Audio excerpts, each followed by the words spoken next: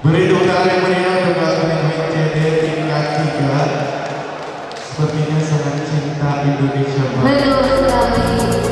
Ada goyangnya